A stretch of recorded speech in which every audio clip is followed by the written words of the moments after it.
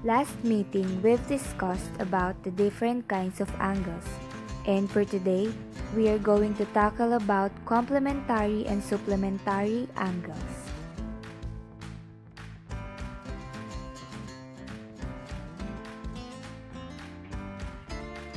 At the end of the learning experience, the students should be able to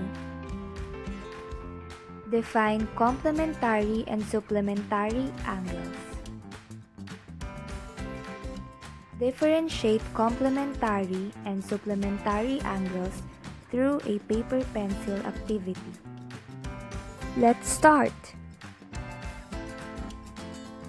Two angles are said to be complementary if they add up into 90 degrees, forming a right angle.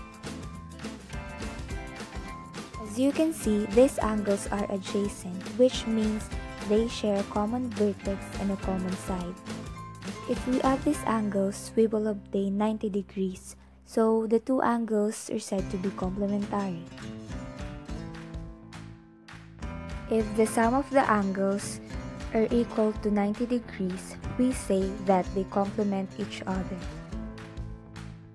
Angles do not have to be adjacent for it to be complementary. These angles are also complementary because their sum is equal to 90 degrees, and if you combine them together, they will form a right angle.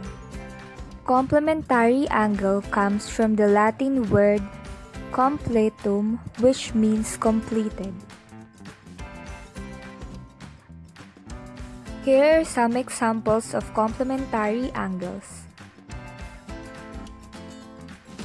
These angles are complementary because 25 degrees plus 65 degrees is equal to 90 degrees. Another example, we have 58 degrees and 32 degrees. So if you will add them, it will be equal to 90 degrees. Therefore, it is complementary. Notice that the angles are complementary if they form a right angle. For example, 29 degrees plus 61 degrees is equal to 90 degrees. Therefore, these two angles formed a right angle.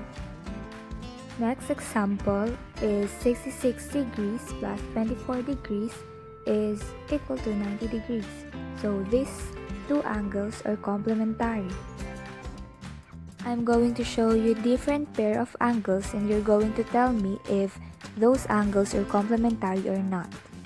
Are these angles complementary or not?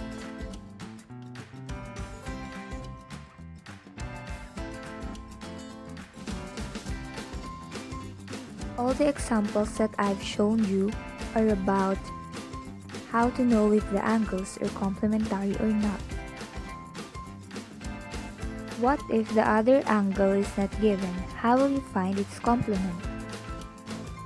Based on the examples that I've shown you earlier, we can say that a complementary angle is equal to the sum of the angles, or simply, angle A plus angle B is equal to 90 degrees. Given these two angles, we're going to find out what is the measure of angle A, wherein angle B measures 41 degrees. So using the formula for complementary angle, we're going to substitute the value of angle B. So it will become angle A plus 41 degrees is equal to 90 degrees. And applying the APE or addition property of equality, we're going to transpose 41 degrees to the other side and subtract them. So the answer will be 49 degrees. We're going to apply the same procedure in these given angles.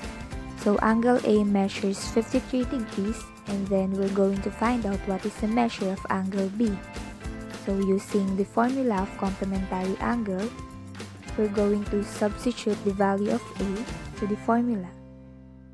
We can just simply subtract 53 degrees from 90 degrees to find the measure of angle B. So therefore, Angle B measures 37 degrees. Created using Powtoon.